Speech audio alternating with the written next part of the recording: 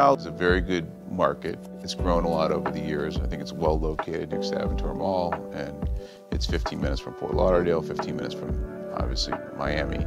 Uh, it's close to both airports. It's about less than a mile from Aventura, which is a city we've developed. You know, we've been uh, developing in Miami, South Florida for six decades as a company.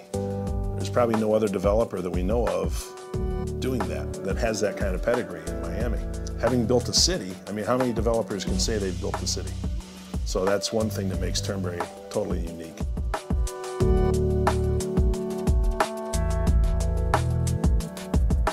The philosophy of our company is always that we try to build stuff that makes a difference, that you can add rather than just copy somebody and build a nice building and let the location speak for itself.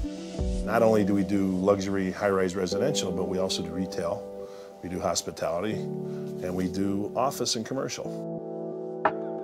Properties that we've done going back over the last 50 years or so. You know, it started with Turnberry Isle back in the 70s and 80s and continued with Porta Vida and Aventura in the 90s in the early 2000s and then Turnberry Ocean Colony and Sunny Isles Beach. All of these properties at their time were known as the best and still are.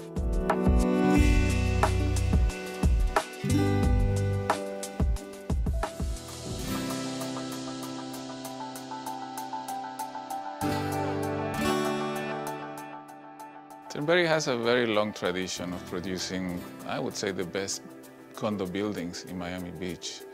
Uh, this is a progression both for Turnberry and for me. I mean, it's, it's, it's taking their base product, bringing it to a different level.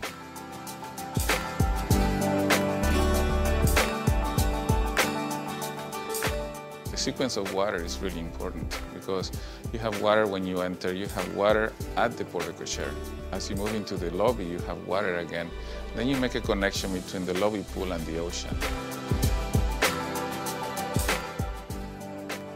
Turnberry took a decision to bring it up, to bring it up to a different level, bring it up to the 30th level. 31st and 32nd floors have 40,000 square feet of amenities. This is really unmatched in Miami, and I don't know of any other building that does this.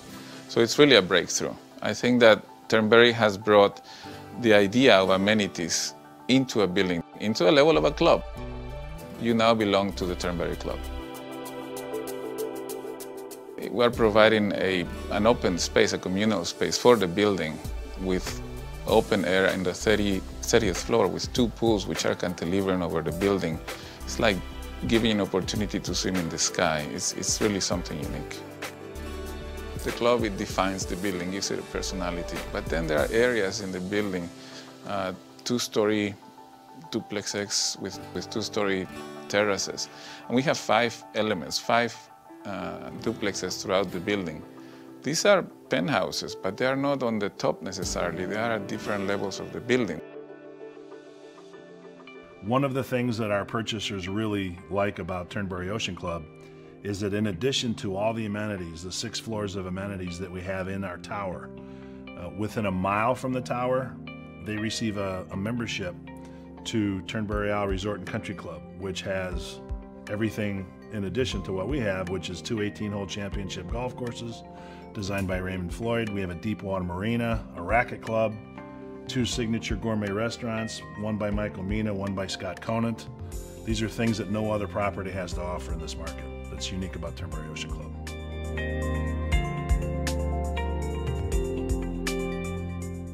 And the approach was proportion, balance, circulation, ease of movement, comfort, as if I was designing a home for myself.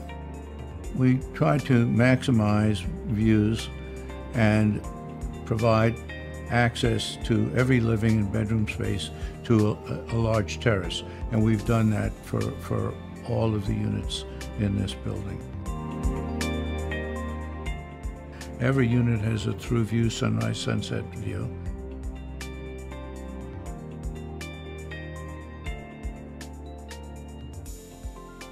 We're not building Turnberry Ocean Club for just anyone.